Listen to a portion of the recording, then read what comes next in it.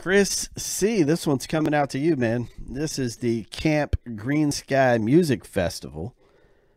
Uh, it's got all kinds of different musicians that performed uh, at this event here. My wife loves this poster, by the way. She loves the colors, the rhino. This thing's awesome, man. This one's hard, a little harder to find, harder to come by. Uh, there's a lot of niche collectors uh, that would love this one.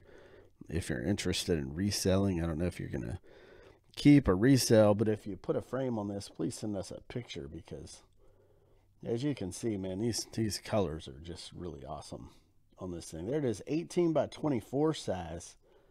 Uh, it's numbered, autographed, numbered.